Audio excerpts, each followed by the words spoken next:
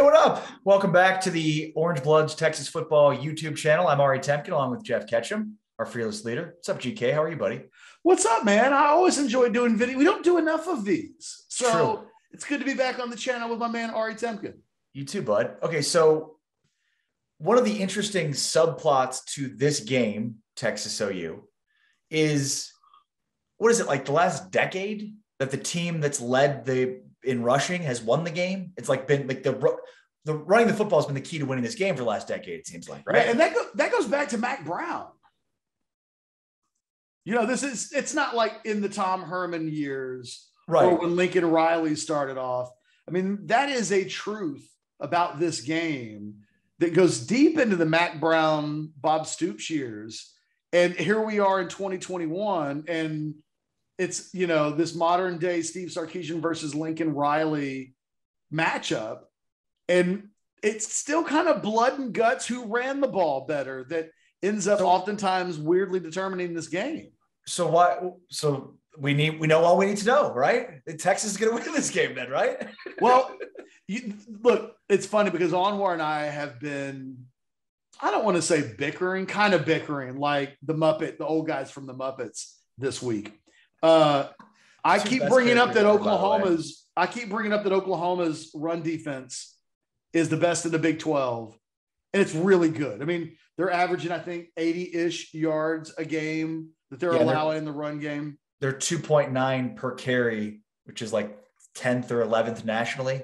Yeah, no, I mean they're they're really good, and uh, and Texas has the best run offense in the Big Twelve right now, two hundred and eighty ish yards per game, and it hasn't mattered whether or not it's Bijan or Keilan or Roschon. I mean, all those dudes are averaging. I think one of the weird stats of this Texas team is if I'd have to look and see if it updated through this week, but for most of the season, Bijan's yards per carry ranked third on the team That's unbelievable. that when Roschon and Keilan Robinson come in, they they have the ability to you know post big numbers as well. And I think you know Bijan's like in the six point something category, and those other dudes are like at seven and eight. So yeah, on paper, Texas should be able to run the ball really well, except it's hard not to think about the Arkansas game. Texas has played one let's just even say semi legitimate defense so far this season. And Arkansas did a real number on them offensively. But how much how much can we take away from that game because of the ineffectiveness of the quarterback position? I mean, granted, I think it's a good example because this is this Oklahoma defensive line is as good, you know, as Arkansas's defensive line. So it's the question about who wins up front. But at the same time, too, it's like we know how compromised the quarterback position was in that game. So when you're one dimensional, like forget it. It's a completely fair point. Uh, and it's important to point out that last week they were one dimensional Right. against TCU. Yeah. And they ran the hell out of the ball. Now, TCU allowed 350 yards rushing to SMU. So maybe they can just be had that way. I think that I think you make a good point in that it's it's a Casey Thompson led offense now, especially now that he's made a few starts, is different than than what Hudson Card and that Texas offense would have done uh, in that first half and going into the third quarter against Arkansas, except going back into August, the the weird little bugaboo for this offense was its offensive line. Yep. And they had scrimmages where it was like they couldn't block the Texas defensive line. That the offense couldn't run consecutive plays without the entire play being blown up because somebody couldn't block. And we thought, well, God, maybe that just means the Texas defensive line is awesome. They haven't been. Right. Arkansas blew up that Texas offensive line pretty much on a play-by-play basis. And it, and so consequently, Bijan wasn't very effective against Arkansas either. I'm I'm slightly concerned for Texas going into this game that the Oklahoma defensive line is a more productive and better version than this Texas defensive line has been this year. What does it do to this offense and specifically the running game, which is what we're talking about, if there are jailbreaks? Because it's good on good but one guy's good's just a lot. For instance, we've talked about it a lot this week. Nick Bonitto against Christian Jones for 60 minutes. It's a problem. It's it's a it's a big problem. And there's a couple of different things that you think about. One, they just got to give him help. I mean, he if they leave him one-on-one with Bonitto, he's going to change the game in a negative way for Texas. So well, they, got, they got to put a guy in line at tight end, I think, and help that dude all game long. They have 25 TFLs against Texas in the last two years in this game. That's wild. I mean, and you think back the last two years, like, yeah, they've lived in their backfield. And so, I mean, on the one hand, it's like, well, Texas should win this game because whoever runs the ball more effectively will win it. And Texas is like not even close to yeah. a better running team. But then I look at the defensive line, Perrion Winfrey, Isaiah Thomas, you know, Nick Bonitto. I mean, and that and the offensive line for Texas, which has struggled, and it's like uh, now I don't know because there's such an advantage for that. If I tell that. you that Bonitto has two sacks on Saturday, that feels light to me potentially. Right. Like I was gonna say, I'll take the over. Exactly. That's a that's a that's a hardcore thing to say. But if we put 2.0 as the sacks for Bonitto on Saturday, uh, I was caught sitting there calling him Bonita because he's so pretty. Um, I think that, you know, how do you, if you're Texas, how do you survive just that one guy potentially making, you know, because that doesn't, we don't know what happens at the end of those plays. Are those fumbles? Are those drive killers? Or, you know what I mean? It's, you, you, you hear the stat sometime and it just it's an empty thing if it's two sacks but one of them leads to a touchdown or right. a short field or something and that's with none of the other that's just one that's oklahoma's arguably their best player pound for pound on the team yep going up against I would say one of the 10 lowest performing starters combined on your 22.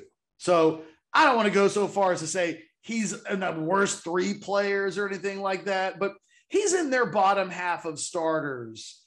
If you take both of their lineups and combine them, I mean, he's the lowest performing offensive lineman.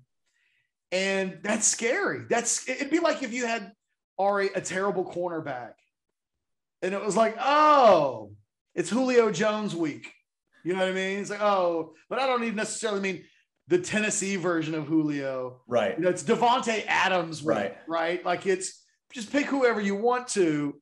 It's Calvin Johnson and his pump week, right? Like, and it's like, oh, and it's their very best guy against our single worst potential matchup nightmare. And I think that when I look at this game, and I know Texas fans may be like looking for the revolver right now and like wanting to put it in their mouth after listening to me talk about this, but this is a this is real. This is what Texas is going to have to find a way to thrive in is a situation where their offensive line matchups do not favor them. So how do they achieve success with that dynamic involved? And we just haven't seen it yet this season. Well, and, and if you're a Texas fan that's also a Dallas Cowboys fan, there's a similar dynamic that's played out with Terence Steele at right tackle, you know, because he came in last year as an undrafted free agent and was just a mess when left on an island. And this year he's been better, but it's because of the help they provided. And I mean, you're you're talking about, you know, Bosa and I mean, just the pass rush. It's, it's, it's a very similar thing. Right. And so they've done a good job. They they brought an extra lineman. They they brought in two tight ends to that side, you know, and and they've used you know Connor McGovern as a, a fullback essentially at times. So I think that's like that. Sark, you said it at the start. He cannot leave Christian Jones on the outside, just on an island, trying to you know go one on one with Nick Bonitto because that's where Alex Grinch is going to find the weakness and continue to blitz on that side. Well, the funny like, thing is that like that's where he naturally lines up. So that's not even a wrinkle. That's literally them. Like, you guys have been waiting all year for this one. We don't have to do anything different. We're just going to line you up. And look, the other thing is, we laugh and like point at Christian Jones, but it is also important to note that Texas had a change within its offensive line. Right. So now you've got Andrej Karic playing right tackle with Kerstetter moving in. And whatever Kerstetter isn't as a run blocker at times at tackle, he's been a really good pass protector. I mean, a couple of years ago, his pro football focus college passer block rating was like the best in the Big 12. And so, I mean, he's capable. I thought he helped Christian Jones actually, that taking Denzel Okafor out and sliding Kerstetter over, I thought stabilized the offensive line in a way that people kind of forgot about as the game went on. I was going to ask you if you thought that this was a better setup for the offensive line. I do, but I do worry now in this game that your left tackle is your most concerning offensive line position, and your mm-hmm. right tackle is your youngest and, and most inexperienced. Because at least what you would say about Christian Jones is he's been through some battles now. So and he's seen Bonitto. So it's not even like he's playing a guy that he doesn't, he's never seen before. You know, if you're Oklahoma, you probably do move Bonitto over to Karic's side at least a couple of times because you really want to you put some pressure on that kid. And so it is a bit alarming that both bookends are guys that, you know, if I'm if I'm Grinch, I'm finding ways to ask questions yeah. of those players. And if they answer it, hey, then those guys end up being really good. But I'm a million dollar a year defensive coordinator, and it's my job to create situations that might make my side of the ball win. And for me, if I'm Grinch, I'm looking at those two players and I'm like, we can make some hay there this week. And if we don't, we'll walk away really disappointed. So let me ask you this on the running back situation. Um, so I'm sure you saw that um, Gary Patterson was asked about why Zach Evans' workload paled in comparison last week to Bijan Robinson's. Evans had like 15 for 113. Of course, we know about Evans, you know, his recruitment out of North Shore. Um, and, you know, he basically committed to every SEC school before, you know, essentially s- setting up at TCU. So it's a good comparison because they're both highly recruited kids, feature backs um, his his quote was quote I would never do 35 carries like they did for the guy at Texas. If you want to last if you want to last four years, if you want to, I'd never do 35 carries like they did for the guy at Texas. If you want to last four years, Evans does need more touches though. End quote. What do you make of that? I thought it was a recruiting comment. I yeah. mean, because look, you know it's true. These five star running backs in high school, they don't want 35 carries. Whenever so that's you, what I was going to ask you would they want 35 or, or 15? I think they've want 15 ish, 15 to 20 ish on paper because the best running backs in the country, they they realize I'm playing three years. I, got to be careful not to get DeMarco Murray with the Cowboys into the ground. Right. Yeah. I mean, that's the most obvious example. If, if DeMarco starts getting 35 carries a game, and I don't think that's going to happen, but if he did, they'd probably be like, hey, remember DeMarco Murray's last year with the Cowboys when they were just like, to hell with it. YOLO. he's, he's leaving next year. Eh, okay, we'll just run him to death. Oh, I, they're that. not going to do happened. that with Bijan. It did. It did. and DeMarco is such a good soldier that year, right? Like these players in the moment will also say, I'll do whatever it is that I'm asked. But, you know, look, the funny thing is, running backs coach now at Oklahoma and not still playing in the NFL. exactly. Isn't that funny? Uh, Bijan has never had a game. There's some things about Bijan that we don't know. He never was used as a workhorse last year, ever. And, you know, truly, the last couple of games of the season, he's getting more of a workload than he was getting, but it wasn't like Gary Patterson would have ever said that last year.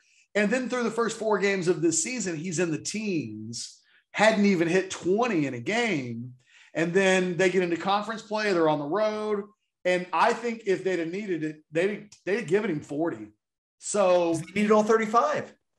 Yeah. So I think that, you know, I think it's all on the table. I don't expect that most weeks, but look, it is a fair thing to bring up in the sense of I did it when Charlie Strong was doing it with D'Onta Foreman. I mean, it was like, man, kid carries the ball 40 something times, and you're just like, that's a lot for a guy right who's, who's you know not getting paid. I don't know if NIL changes that now because look, the, the, the game day guys did a, a segment last week about well, is it okay to boo guys now that they're kind of getting paid? I mean, Bijan is the highest paid guy on the football team in these NIL deals. I don't know. At that point, you say, oh, shut up"? You are getting paid. You are a professional running back. So take your 35 carries real quick because I know we're going to wrap things up shortly. I would say for all of the Texas fans that had revolvers in their mouths over the Christian Jones, Andrej Karic comments, the thing, if we're going to use a Cowboys um, analogy, I'll always go back to Emmitt Smith, where most you take Erik Williams and Larry Allen out of the equation because they were drafted on those great Cowboy offensive lines. Rest of that offensive line was made up of parts, like not the good part of the pig, not right. the pork ribs. It was like the ham hock, right? And it was like, oh, Nate Newton was the big old ham hock. And Mark Tuinei was like a guy that had played on both sides of the ball. And Stepnoski was an undersized center that I think we all thought was going to be a great player, but he really hadn't I guess I'm going oh, I'm going way too specific to say when you add a truly great running back into a backfield, everybody else gets better.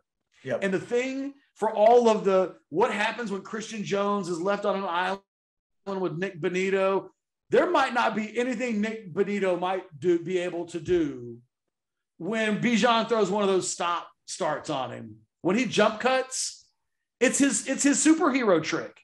And you know, there probably will be guys in the backfield, but Bijan could still turn what otherwise would be a bad play into a 70 yard touchdown because he's he is the supernova in this game that really that's the only real difference between these two teams is it feels like texas has an absolute superhero and it feels like Oklahoma has some guys that think they could be, but haven't quite done it. And, no, that's true. That's very and true. So, like, you know, I expect to see Bijan do something special on Saturday. And I don't know that that means that the offensive line uh, blocked, like specifically, I think Bijan's going to have a big run. It doesn't mean I think that play is going to be really well blocked. I just don't think it matters all the times. And when you have a special player, it evens out your weaknesses to a certain degree. And yeah, I think point. that up until now, that Texas running game's averaging as a whole seven plus yards per carry with their top three running backs combined. You know, it has to that has to be a battle that every week they win. And as we started the video with, if you win that battle in this game, it has year in and year out translated to victory for the team that does it. And and the last point I'll make on this is I, I'm sure Sark watched the film from K, the K State game last week, and Deuce Vaughn's a really good back. Um, he's a really really good running back, and he didn't rush the ball very well against Oklahoma, but he f- impacted the game. He had yep. ten catches for 100 and some odd yards. And so, I mean, that's how you can neutralize an effective blitz, obviously, is to use the, the screen game and that, you know, Bijan, we haven't really seen him. I think he's getting between one and four catches a game. That's certainly a part of his game, though. That, he's averaging two. Is it two per game? He's got 10 catches in the year in five games. So, yeah. I mean, so even if they're having some trouble trying to run the ball, give it to him five times. I mean, seriously.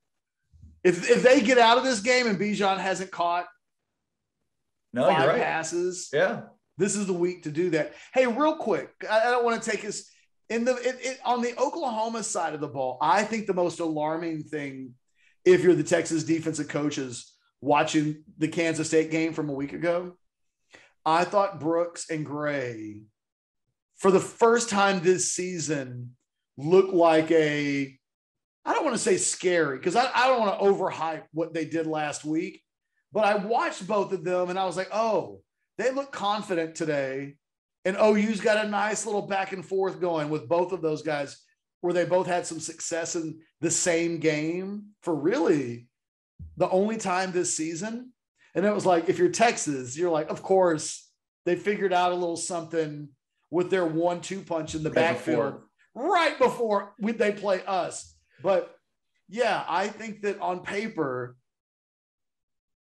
it, it should be the area that Texas wins. And yet it doesn't like sway me, I don't think, in what direction I'm going to go with making a prediction at the end of the week. No, it's true. And, and what I'll say on that is I was at the game two years ago, the last time Kennedy Brooks played in this game because he, he opted out last year. Yep. And he destroyed, like, he was the key in that game against Texas. He was at, I don't know what his numbers were, but I just remember every, he just picked up so many first downs. And it was just, again, he was just a killer against Texas last year, er, two years ago, and that year he has not been the same back.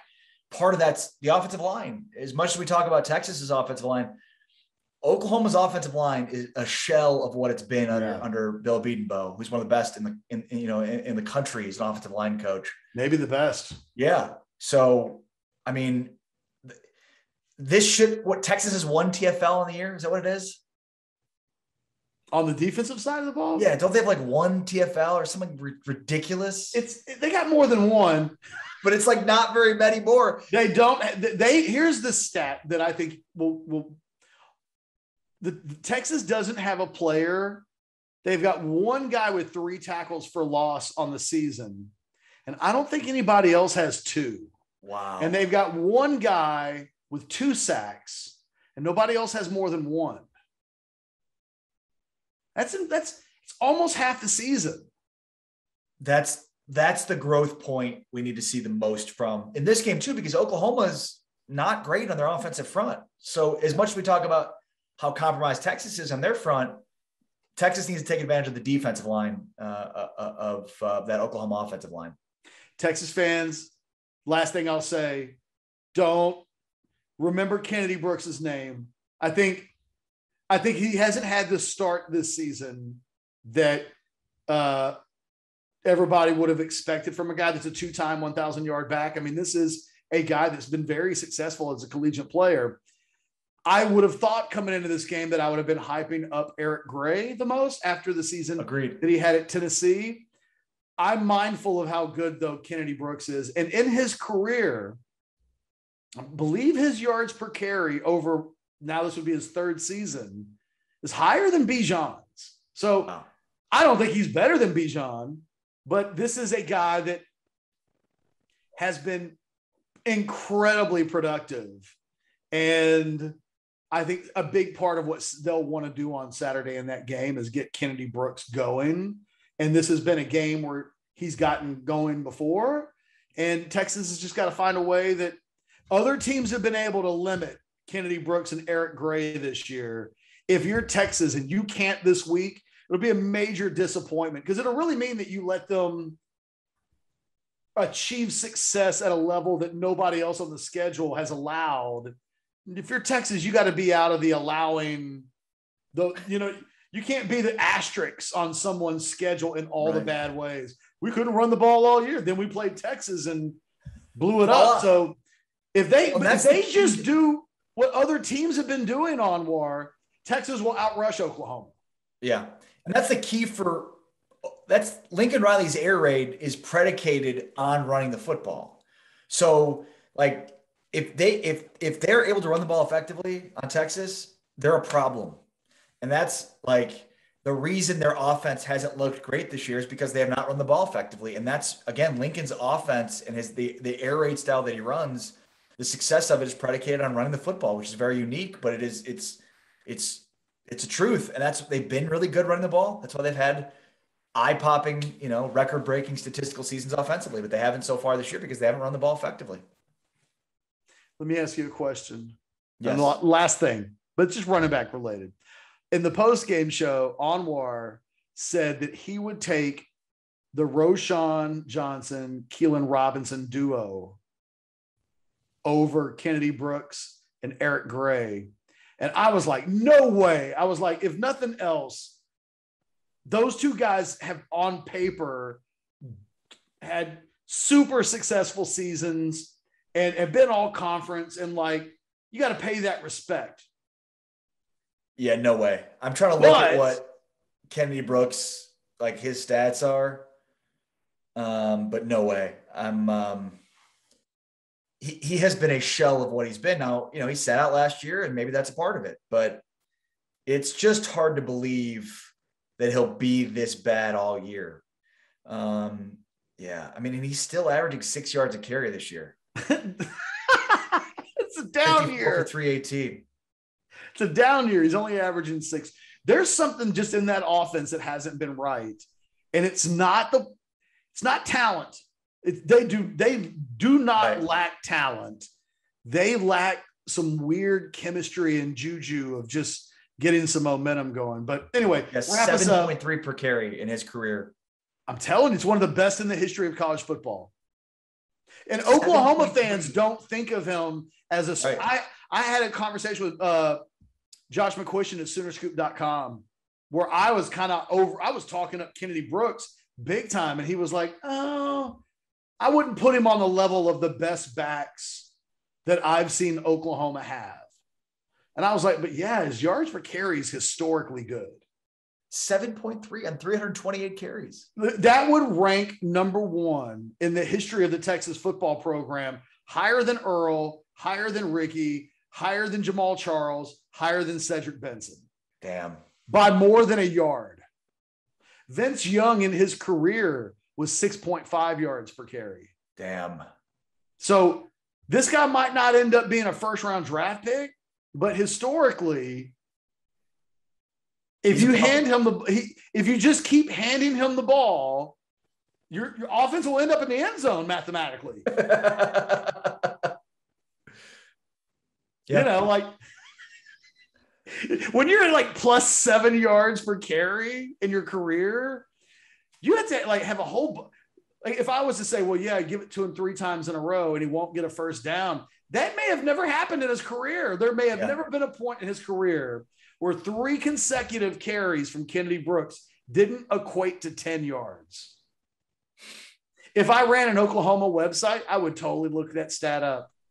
I would I would look it up. Has there ever been a three play sequence, even if it was over two games, last two carries in one game and the first carry? I just wonder if he's ever had three consecutive carries where the yardage added up didn't at least break 10 yards. Because on paper, that's 21 yards. So it's probably happened this year because he's got this horrible 6.0 yards per carry. it's probably happened this year because he sucks at six six yards per carry. Um, anyway, I'm running back out. I'm good. I've said all. I've said my piece on running games. Thanks for checking out the video. Make sure to hit that subscribe button if you have not yet already. And if you liked what you saw, give it a thumbs up because that helps other people find the video. But uh, catch, cheers, buddy.